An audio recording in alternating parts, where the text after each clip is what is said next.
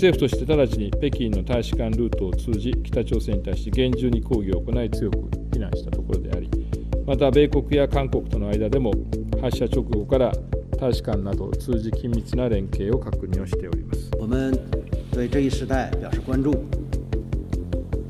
中方一贯坚持维护半岛的和平稳定，坚持实现半岛无核化，坚持通过对话协商希望有关方坚持政治解决方向，保持克制。开展对话接触，按照双轨并进思路和分阶段同步走原则，探讨寻找均衡解决各方关切的有效做法。